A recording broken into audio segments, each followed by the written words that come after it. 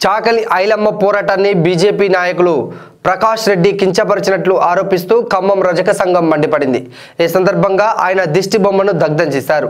BJP నేతలకు తెలంగాణ చరిత్ర తెలియదని ముఖ్యంగా చాకలి ఐలమ్మ చేసిన పోరాటం మరవడం సిగ్గుచేటన్నారు.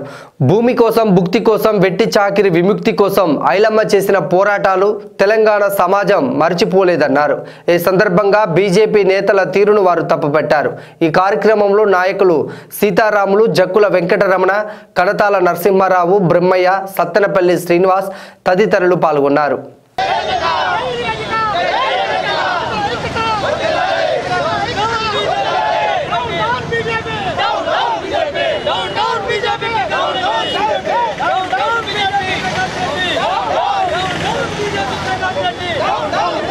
ప్రజలకు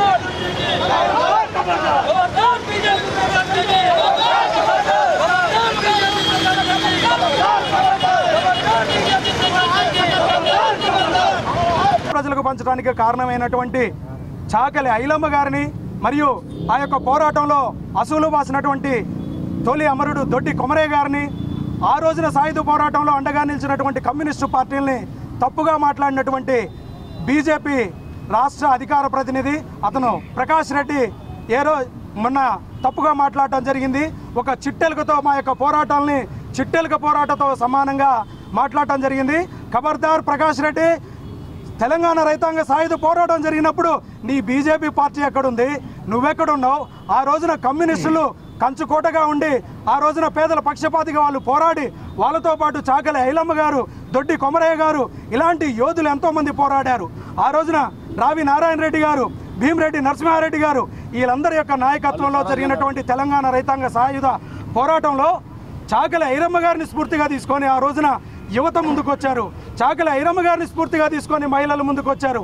ఆ రోజున బతుకమ్మలు ఆడిచ్చేటప్పుడు ఎవరైతే భూస్వాములు పెత్తందారులు జమీందారులు ఉన్నారో మహిళా స్త్రీలను ఆ రోజున పట్టలు లేకుండా బతుకమ్మలు ఆడిచ్చిన సందర్భంలో ఒకే ఒక మహిళ తెలంగాణ రాష్ట్ర వ్యాప్తంగా బయటకు వచ్చి ఆ రోజున ఎంతో మందికి స్ఫూర్తిదాయకంగా నిలిచినటువంటి మా చాకల ఐలమ్మను తప్పుగా మాట్లాడినటువంటి మా చాకల ఐలమ్మ పోరాటాన్ని తక్కువగా మాట్లాడినటువంటి నీలాంటి యదవల్ని సమాజంలో తిరగనివ్వం.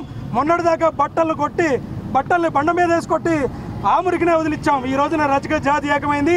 నీలాంటి వాళ్ళందరూ రాజకీయాల్లో మురికి పట్టిన నీలాంటి నాయకులందరూ కూడా మీ మురికి వదిలిచ్చేదాకా మా రజకులం అంతా ఐక్యంగా కదులుతామని తెలియజేస్తూ త్వరలో గడీలకు వ్యతిరేకంగా ఆనాడు రాచరిక వ్యవస్థలకు వ్యతిరేకంగా నైజాం నవాబులకు వ్యతిరేకంగా రజాకారులకు వ్యతిరేకంగా మరి ఎదురొడ్డి పోరా పోరాడినటువంటి మరి చాకల ఐలమ్మ గారు ఆమె ప్రజల కోసం తెలంగాణ పేదల కోసం ఆమె కుటుంబాన్ని త్యాగం చేసింది. మరి నిస్వార్థంగా ఆ రోజు మరి ఆమె తెలంగాణ సాయుధ పోరాటంలో పోరాడితే ఈరోజు కళ్ళు మూసుకున్నటువంటి బీజేపీ నాయకులు ప్రకాష్ రెడ్డి కేవలం చీఫ్ పబ్లిసిటీ కోసం ప్రచారం కోసం ఆయన వెలుగులో రావడం కోసం మరి వీరనారి ధైర్యశాలి దీశాలి చాకలైలమ్మ గారి పట్ల మరి అనుచిత వ్యాఖ్య చేయటం చాలా హేయమైన చర్య సిగ్గుండాలి. ఖబర్దార్ ఇలా మరి ఈరోజు హెచ్చరిస్తూ ఉన్నాం. బీజేపీ ప్రకాష్ రెడ్డిని ముక్కు నేలకు రాసి మొత్తం తెలంగాణ సమాజానికి యావత్ తెలంగాణ ప్రజానికి ప్రజానికానికి క్షమాపణ